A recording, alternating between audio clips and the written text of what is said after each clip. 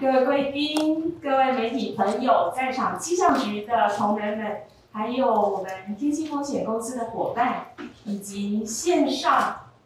同步观看直播的好友们，大家好，应该算午安了哈，大家午安。午安。那谢谢大家今天来莅临哦，由中央气象局跟天气风险公司共同主办的气象资源创新应用方案启动记者会暨首家产业签约仪式哦。我是中央气象局第一组服务科科长廖成伟。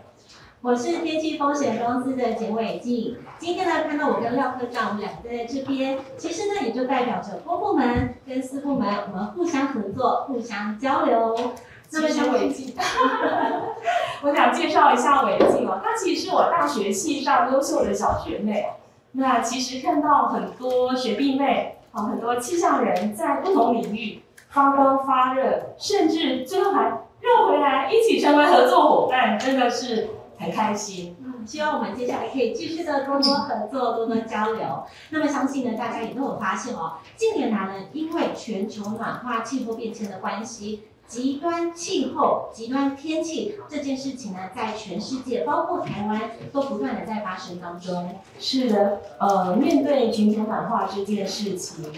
每一个人都有一份责任在，气象局当然也是哦。所以，我们这几年积极在公部门、私部门、学研单位，还有呃所谓产官学研经之间哦，我们积极在建立一个呃包容性的伙伴关系。那这次我们希望可以透过气象资源创新应用方案的订定跟推动，能够促进气象产业的发展。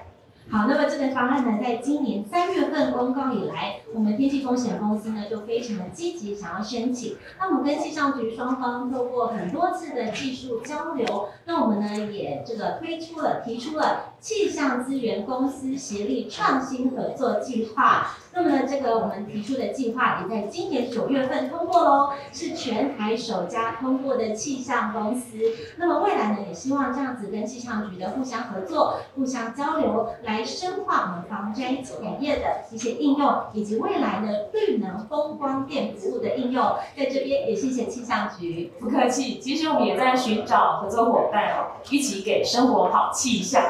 那感觉今天很像很像在办那个成果发表会哦，然后很欢喜，然后我们现场也看呃灌溉云集哦，我们看到很多我们熟知的呃贵宾还有好朋友们哦。那呃我们接下来赶快来为我们介绍这些贵宾，先谢谢这些贵宾为我们加持哦，真的很感谢。谢谢，我们先欢迎数位发展部的唐凤唐部长，欢迎你来。以及国家科学及技术委员会林敏聪林副主委，欢迎。以及欢迎交通部航政司何淑平司长，欢迎。以及天气风险公司的彭启明彭总经理，还有气象局的大家长郑明典郑局长。那我们现场还有气象局的陈家平副局长，洪金次副局长，林主秘也来了哈，然后还有我们很多呃业务单位的主管同仁们哦，还有天气风险公司的团队也在此一起欢迎，欢迎。那我们一开始呢，就先请气象局的大家长哦，郑明典郑局长来为我们做开幕致辞，欢迎。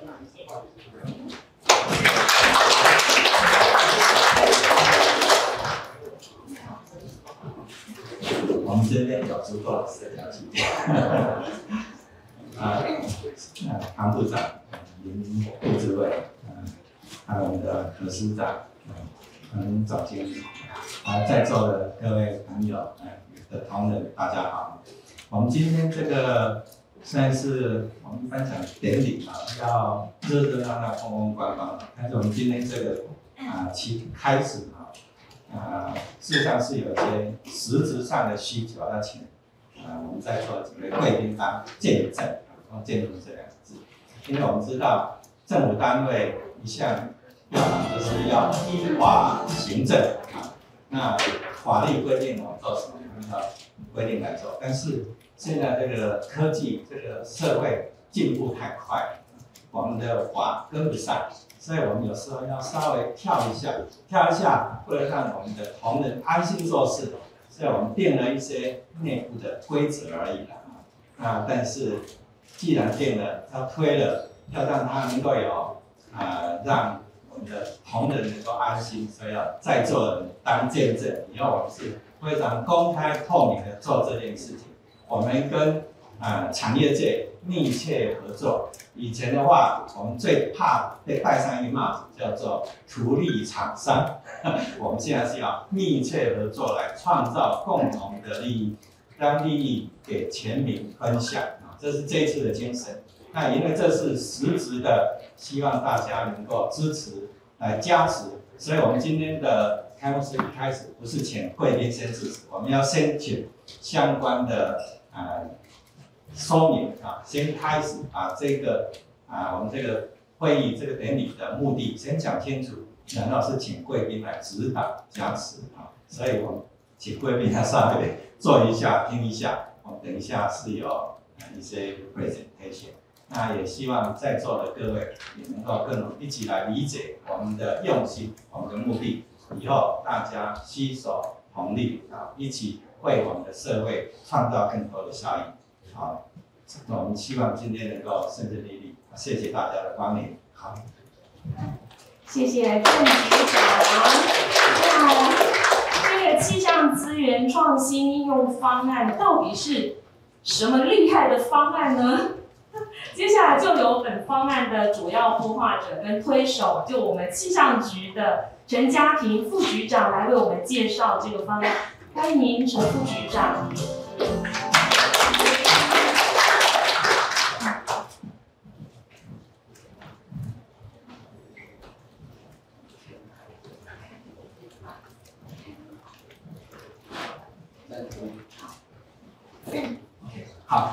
啊，这个。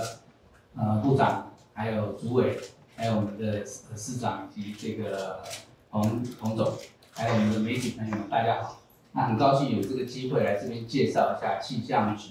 呃，其实在今年三月才正式推出来的这个气气象资源创新适用方案，基本上的概念其实就是这个开头，从开放资料到开放资源，它不仅仅是资料，同时也把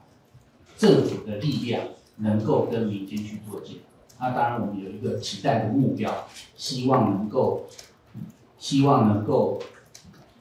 提升我们民间的参与，公司协力，然后来做呃相关的产业发展。好，那这一章是刚刚我们开始的时候，我们的这个组织有稍微提到，这是最近十年来的其因为自然灾害所造成的经济损失，其实每年大概高达一百八十亿左右。然后在特别在农业的部分，是农委会提供给我，这大概每年大概一百亿。当然最近两年其实还蛮幸运的，台风没有进来。可是台风没有进来，会反而造成台湾很重要的缺水的问题。所以这些缺水的问题，其实会造成更多的这个经济的损害。那当然依照这个世界气象组织的估计，正确的预报加上适合的调试措施，它其实可以减少百分之十 percent 到三十 percent 的这个。气象灾害，所以每年的潜在的减损效益，如果我们足够足够提供足够的预报资料，还有相关的这个政府的相关的配合作用，其实大概有十五十五亿到十五亿到五十十八亿到五十七亿的这个这个潜在的的的这个效益。那当然，刚刚有提到这个气候变迁的的阴影的迫切性。那其实，在气候变迁整个的阴影里面，其实两个很重要的精神。第一个部分是怎么样去管理我们所面对的这个气候风险，怎么样去加强国家的韧性，这是第一个部分。可是另外一件事情也很重要，气候变迁其实也带来机会，怎么样去掌握气候，怎么样去掌握气候机会，能够能够开创经济效益，也是一个我们非常需要注意的的部分。那那这个部分在左边这张图其实是我们整个的。Driver 就是整个的气象局在最近几年在推动的，一个是有关我们的面对的气候变迁调整，另外一个部分就是今年三月，其实我们行政院公布的这个二零五零的近零的路径规划里面，在两个基础科技和法治的基础之下，做能源产业、生活社会的转型。那这些工作其实非常非常需要气象的资讯在里面，所以我们气象局作为国家气象局会需要去思考，怎么样把这些资讯转化成为民众以及产业他能够听得懂的资讯，期待能够去降低我们整个国家所面对的风险，减少灾害，创造效益。那当然，这个就跟气象局的任务其实是完全吻合的。在这张图上可以看到两个重要的部分，一个部分是右右半边是叫做政府服务，里面包含了灾害防救、环境保育、资源规划以及政府应用；左边是民众的服务的部分。那其实也是中央气象局所面对的最大最大的使用。下面是非常重要的两个部分，包含了这个国际合作、国际的资料交换以及国际合作。那以及我们是架架构在整个整个气象数位资讯基础建设上面来提供这些服务。那我们过去曾经有讲过，这个这个气象局所提供的的服务，政府其实是最大的使用者。那这也跟我们在评估全世界所有气象产业它的主要的 revenue 的来源、收入来源，大概有六十到七十 percent 都是属于政府性的的服务，大概只有三十到。四十 percent 是民间的产业，这其实是相互呼应。那气象局为了要提供这些服务，我们运用了很多多元的数位科技，然后产制各式各样的这个科学的气象产品来传播给呃实际呃民众来做应用。里面当然包含了气象局的官网的部分，包含我们的社群脸书的部分。气象局有四个脸书：报天气、报气候、报地震以及报天文。还有 A P P 的部分，对于特定的使用者，以及非常重要一件事情，就是有关地震的速报，还有一些特定的特报，这些东西都会需要架构在数位技术上面去做相关的相关的服务。当然，除了这气象局所推动出去的基本的服务之外，还有一个非常重要的部分，就是就是开放资料平台。气象局的开放资料平台，大概在八年以前已经上线。而且在在应该在整个政府里面的气象局所开放的资料项目，应该是属于非常多的。目前的存取的量，每个月大概有一亿八千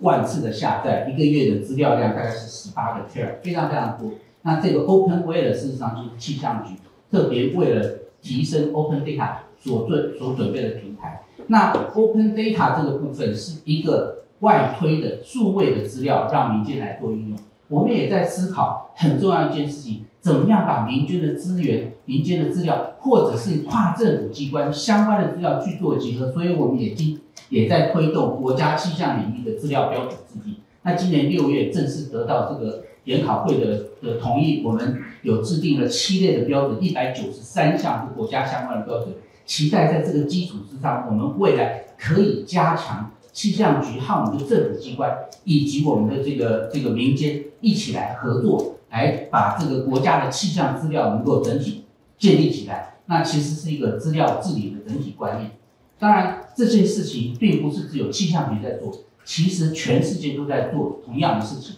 也在加强民间的参与。那这是气象组织，这些气象组织在二零一一年，其实因为有感于这个气候变迁的冲击。推动了这个全球气候服务框架，呼吁全世界所有的科学家以及气象作业单位联合起来，来协助我们的的民间或者政府或者产业界来做相关服务。那并且在二零一八年进一步的在推动所谓的气象产业的概念。这个产业的概念就是国家气象局其实能做的非常有限，你需要结合整个产业一起来做，它才能够去去做到。所谓所我们所面对气候变迁的相关的困境，那其实核心的概念就是在中间写的需求开放，还有服务量的怎么样让这件事情来来呃持稳定下去。那这个部分我借用的也是世界气象组织一张图，它其实在讲产业这件事情，它其实是一个产业链，从最初的资料的观测，在前端最左边的观测，一直到中间的处理，到所有的产品产出。到后端的这个这个这个有关价值应用服务，这整个是一套产业链。那中间有很多很多角色扮演，怎么样能够把这些角色连接起来？其实它是一个产业的生态系，或者是一个价值链。怎么样去连接起来，变成非常非常重要的一件事情。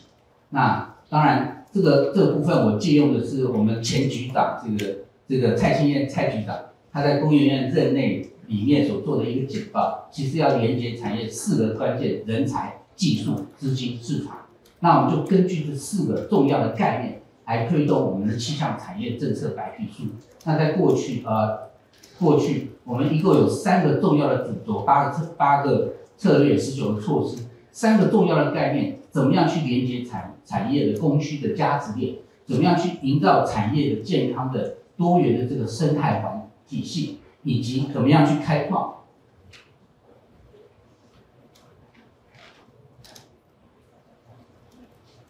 怎么样去开创产业的机会？那在这整个的整个体系里面，包含了法规的建立，包含了技术人才的培养，以及包含了这个推动这个这个台湾气候服务联盟。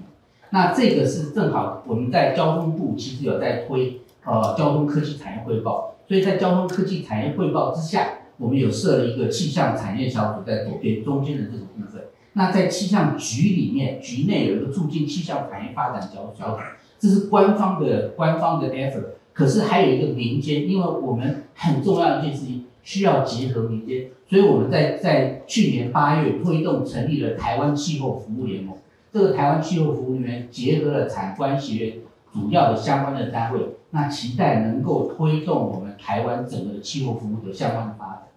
那在气候在推动了这个民间的产业的呃结合之外，还有一部分就是我们既有的资料相关的东西。那有很多很多来自民间的需需求，这些需求怎么样能够被满足？所以在这边所其实呈现的是从我们的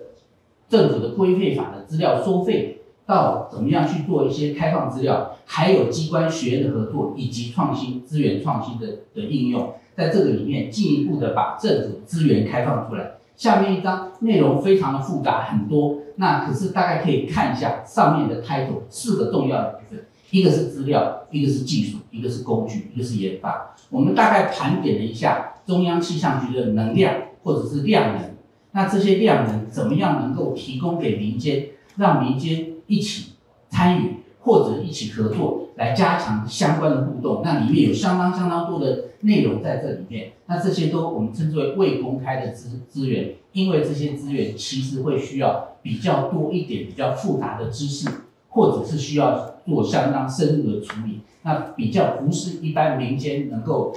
能够使用的。当然，这个我们的天气风险公司，其实在台湾算是一个最先、最先导的、最先进的这个这个一个气象产业，它其实能能力相当好。那在这个创新适用方案里面，其实就是希望能够加强政府、我们政府机关、产业、学研，还有我们市场中间的互动关系。那在这个互动关系的架构之下，能够让整个的这个呃公司协力，能够去促进这个伙伴的关系、产业的发展。那当然可以做的事情非常非常多，除了核心的部分原来在固有的这个防灾的领域之外，旁边还有农业、交通、工作。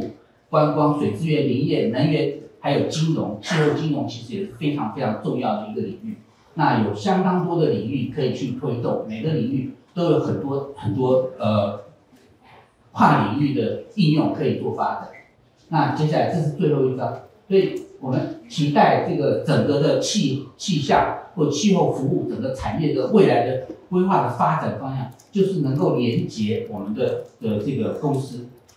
方。然后能够去去建立这个伙伴的关系，然后支援我们整个国家跨领域的风险管理相关的应用。那从这个我们称之为施施政之气候到施政有气候，就是过去十年以来，其实大概大概十二年以来，我们政府做了很多在气候变迁的这个部分做了很多很多相关的，特别很核心的部分，就是让我们民众以及政府机关知道气候这件事情的影响。我们期待在未来的十年，能够政府能够气象局能够真正提供我们政府所需要应用的资料。只要政府在施政上有需要，我们就有能力或能够去协助大家来做提供。那这个一切都要透过不不仅仅是气象局，也要透过跟产业的结合。以上报告，谢谢。谢谢陈副局长。那么天气风险公司会怎么样来加值应用这些资料，提供更多元的服务呢？接下来就请天气风险公司的彭启林彭总经理为我们做说明。欢迎彭总经理。谢谢。呃，唐部长、李副主委、司长，还有局长、副局长，各位气象局的好朋友，大家好。其实今天这个活动呢，我感触非常多哦，因为我记得我们那时候气象局开放气象法可以到民间来营运的时候，那时候还在管制说不可以做什么。现在呢是帮助我们可以未来可以做什么，所以非常有代表性的意义哦。那天气风险呢是基本上是我从中央大学做博士后研究的时候开始想这个念头，来后来我就离开学校来创业，一路下来其实是相对的，虽然一路风风雨雨非常辛苦，但是我们越来越茁壮哦。所以我也相信，如果在这样的机会帮忙之下，我们可以帮台湾创造更多的就业机会，帮台湾做提升。那我们跟以前不一样哦，各位以前觉得说啊，我们就是接防灾的案子。其实我们现在在国家推动近零科技再生能源方面，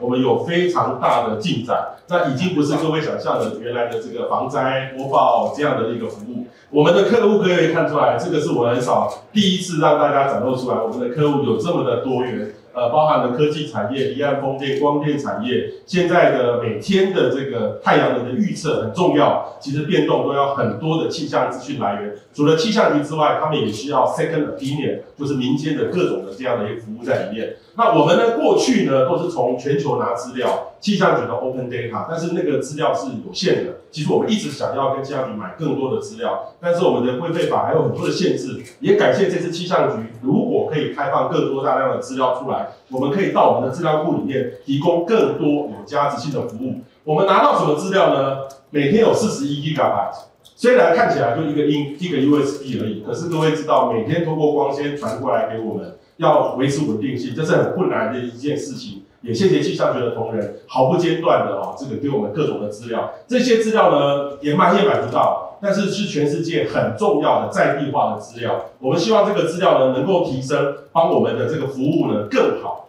然后另外一个呢，我们会结合我们的人工智慧 AI 再提升一次，在我们的预报准确度，让我们的企业客户或是民众做得更好。所以，我们其实已经着手开发了 AI，像现在每天的那个太阳能预测，已经把呃气象结合实际上的这个太阳能的发电做好了那种 AI 的 training 的。未来呢，我们其实把把那个资料，例如说像这个资料，我们把它视觉化，在电视上面可以呈现。像我们服务的新北市，我们就介绍台风，千言万语那么多的警报单，比不上那个动画的图，告诉他们台风会怎么走，所以获得很大的好评。那其实我们都有跟大家标注，这是来自于气象局的 data。那另外一个呢，多元创新的产品，有了好的资料，就有好的产品的可能。所以我们预期呢，很大的效益就是说，扩大这个分析的能量呢，或是我们结合 AI 主观预报，其实会更好。我们会强化这个公司协议，也就是说，气象局跟我们合作，其实本来就有不一样的服务客群。我们会强化在客制化的服务上面，所以我们大概有三个评估。第一个，我们结合气象学的资料，会把我们未来的绿能，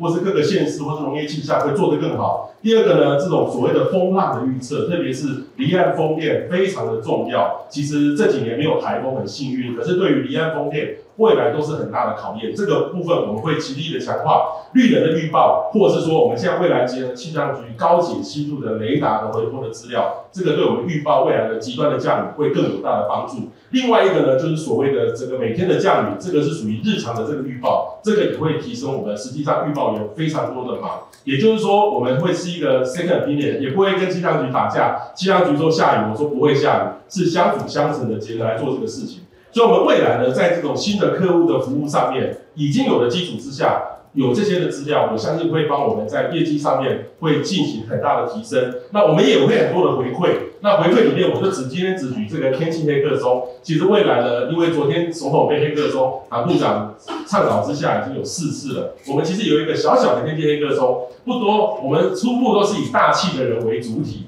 来玩这些事情，但是获得年轻朋友很大的好评。未来我们考虑到，因为这次办完之后，很多人愿意来跟我们一起合作，明年应该会扩大来办理。到时候也请我们唐部长或是我们科技部给我们很大，国科会给我们很大的支持哦。呃，那次呢，你看各位可以看到赖副总统就说了，投资自己、投资台湾、投资地球，就是我们现在很重要的工作，应应近零排放。那我们未来呢，其实我们也希望借由这次方案，可以把，例如说现在的基础的科学研究，科学研究气象局负担很重要的角色，特别它也是作业单位。我们气象产业呢，除了得到国际资料，也得到气象局的资料。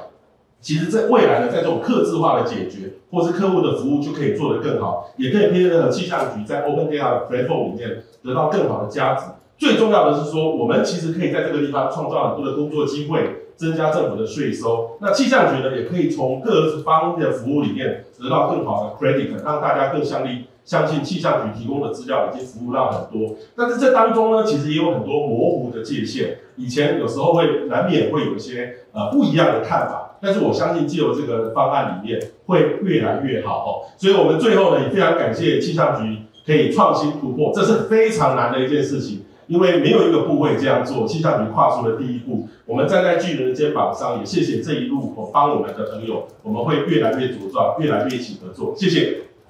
谢谢彭总经理，希望我们未来一起努力，创造资料的最大价值。好，那我们谈到呢资料应用数位发展，今天呢也很荣幸的邀请到数位发展部的唐部长来给我们一些建议。我们欢迎唐部长。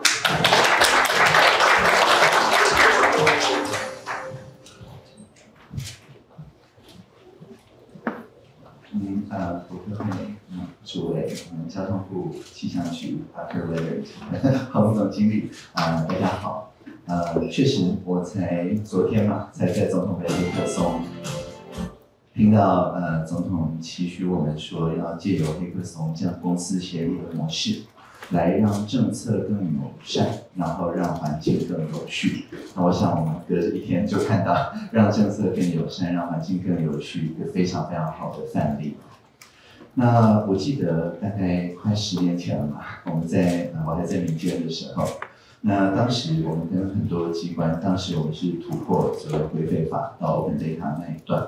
我们当时的一个想法就是说，呃，资料跟其他的资源不一样，它不是稀缺的，它是事实上我们叫做反竞争财，就是我分享给你，反而不是呃有有帮助的，不是我给了你我就少一份的哦。所以这样子越复制越有价值的这种资料，就是建立公司协力的生态系最好的这样子一个资源。那当然，后来在 Open Data 就是各个部会都推行的时候，我们就发现说，还是有一些资料民间的需求跟我们当初收集的时候，哎，有一些落差。民间希望有更高的精确度、更高的品质、更及时的传输啊等等。那这个呢，就需要公家来投入资源。所以我觉得这次的这个示范真的非常好。就是让大家知道说，高应用价值的这个资料就值得我们公家来投入资源。为什么呢？因为它能够产生出来的，不管是社会上面的效益、环境上面的效益，都比我们自己完全是靠公部门来经营这个生态圈，可以成倍数的这样子放大。接下来呢，呃，我们会在年底，我们的啊社会发展部。会结合各个已经在推动这一类的先驱的试验的部会，去定定出我们高应用价值资料相关的这些机制，所以绝对不会说只有交通部或者只有气象气象局，所有一切想要跟民间这样子的合作协力，去让民间的高需求的这些高应用价值的资料，透过像这样小规模的示范，跟大家证明出它的社会的效益跟它的环境的效益，这个呢，接下来会是所有部会一起来携手共创的事情。那综合黑客松啊，是国科会跟社会发展部我们两个主要的主办嘛。之后这个每一年都还会有不同的部会啊来帮我们协力。像今年是内政部，我们看到很多在访什么相关的嗯这些题目。那希望之后这个交通部也可以踊跃参与。那我们现在这个不管是彭博士接下来的这个小规模的黑客松，或者是我们自己在局里面在部里面实际做出来这些共创的活动，希望之后也可以透过总统杯黑客松的这个平台，扩展到所有的地方政府跟社会各界。谢谢大家，谢谢。谢谢唐部长，帮助我们政策更友善，环境更有序。谢谢。那我们接下来要邀请国家科学及技术委员会林副主委为我们致辞。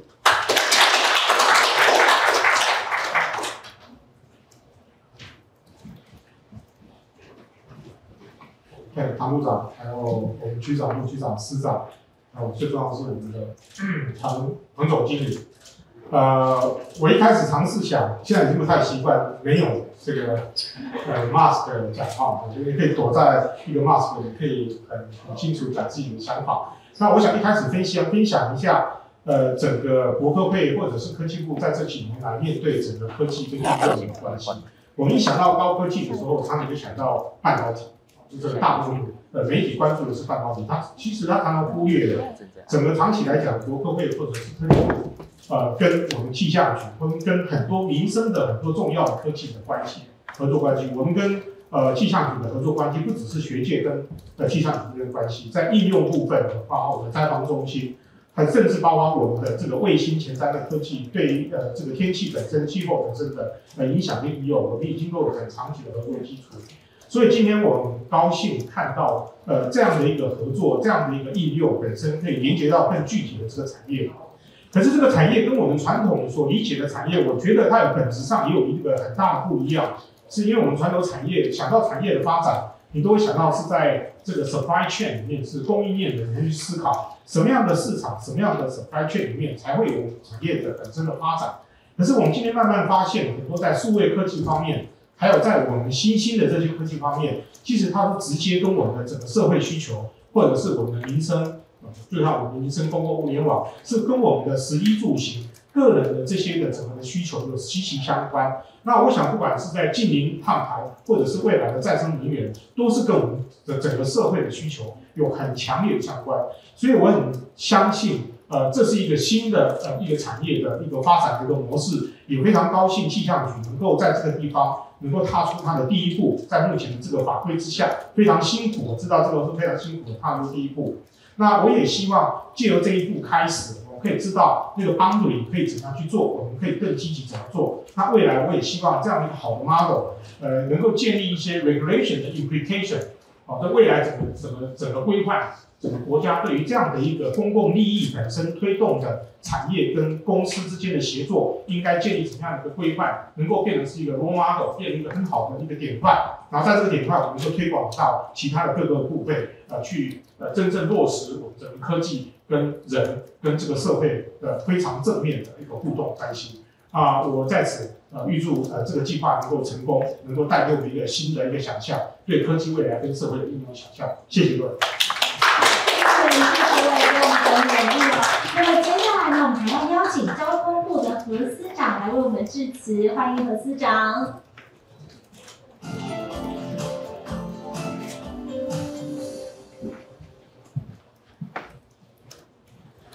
啊，唐部长，还有林副主委，还有我们的郑局长，还有呃彭总经理，还有我们的副局长。呃，我想今天呃非常荣幸哈，就是代表交通部来参加今天的这个见证哈。那我刚刚看局长哈一开开场讲的哈，我想因为呃交通部其实向来是监理机关，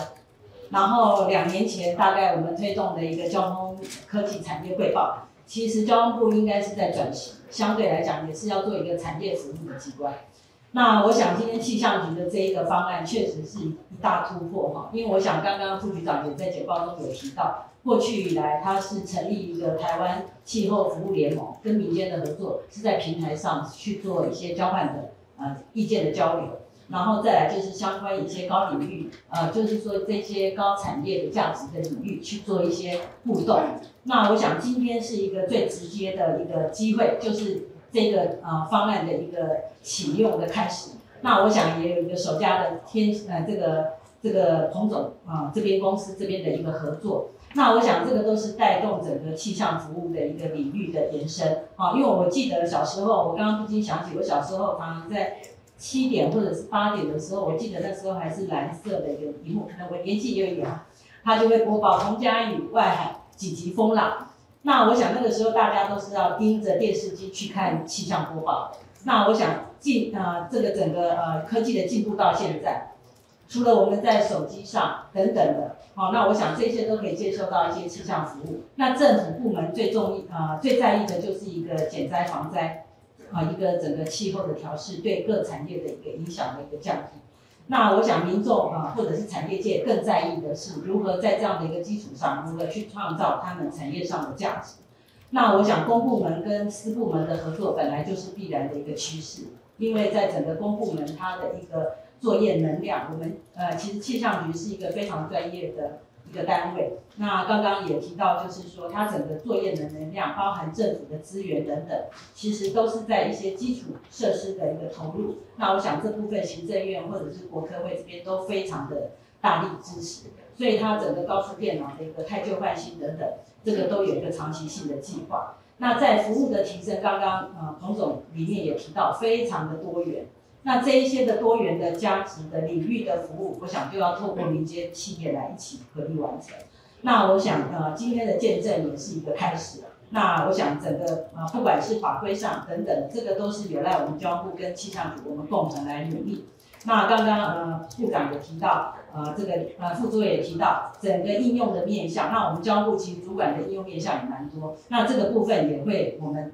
再来思考未来交通领域如何再更进一步的往前。那我想今天就预祝整个计划非常能够成功，谢谢大家。